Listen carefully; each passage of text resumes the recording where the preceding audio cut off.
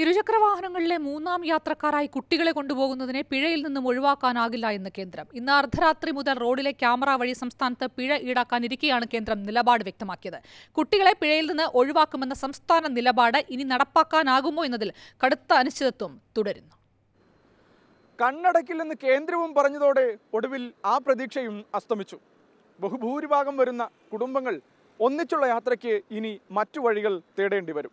ഇരുചക്രവാഹനങ്ങളിൽ മൂന്നാം യാത്രക്കാരായി സഞ്ചരിക്കുന്ന പത്ത് വയസ്സിൽ താഴെയുള്ള കുട്ടികൾക്ക് ഇളവ് വേണമെന്നാവശ്യപ്പെട്ട് ഇളമരം കരീം എം പി നൽകിയ കത്തിനാണ് കേന്ദ്രമന്ത്രി നിതിൻ ഗഡ്കരിയുടെ മറുപടി. ആവശ്യം കേന്ദ്ര മോട്ടോർ വാഹന നിയമത്തിന് വിരുദ്ധമാണെന്നും സംസ്ഥാനത്തിന് മാത്രമായി ഇളവ് നൽകാനാകില്ലെന്നുമാണ് നിലപാട്. യാത്രക്കാരുടെ സുരക്ഷ ഉറപ്പാക്കാനാണ് നിയമമെന്നും കേന്ദ്രമന്ത്രി ഓർമ്മിപ്പിക്കുന്നു. പന്ത്രണ്ട് വയസ്സിൽ താഴെയുള്ള കുട്ടികൾക്ക് ഇളവ് തേടി സംസ്ഥാനം നൽകിയ കത്തിന് ഇതുവരെ കേന്ദ്രം മറുപടി നൽകിയിട്ടില്ല. പത്ത് വയസ്സിൽ താഴെയുള്ളവർക്ക് പോലും ഇളവിൽ നിന്ന് ഗഡ്കരി വ്യക്തമാക്കിയതോടെ കേരളത്തിന്റെ ആവശ്യവും നിരസിക്കുമെന്ന് ഉറപ്പായി.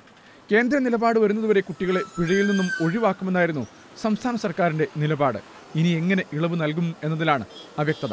നമ്മളെപ്പോലുള്ള സാധാരണ കുടുംബത്തിന്റെ കാര്യം തന്നെയാണ്. ഇപ്പം ഇപ്പം തന്നെ ഇങ്ങോട്ട് വന്നപ്പോഴത്തേക്കും ഫോട്ടോ എടുത്തായിരുന്നു. ഞങ്ങൾ ചർച്ചിൽ പോയിട്ട് വരുമായിരുന്നു പിന്നെ നമുക്ക് നിയമങ്ങൾ പാലിച്ചല്ലേ പറ്റൂ. അതുകൊണ്ട് തന്നെ നമ്മൾ പോവുകയാണ് അങ്ങനെ.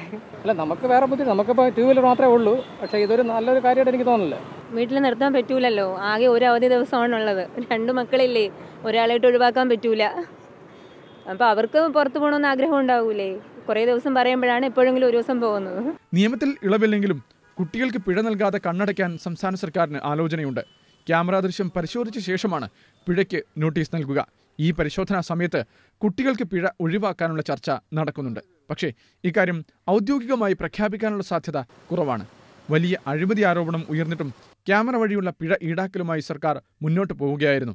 നാളെ മുഴുവൻ ക്യാമറകൾക്ക് മുന്നിലേക്കും പ്രതിഷേധ മാർച്ച് നടത്താനാണ് യു തീരുമാനം. ഏഷ്യാനെറ്റ് ന്യൂസ് തിരുവനന്തപുരം.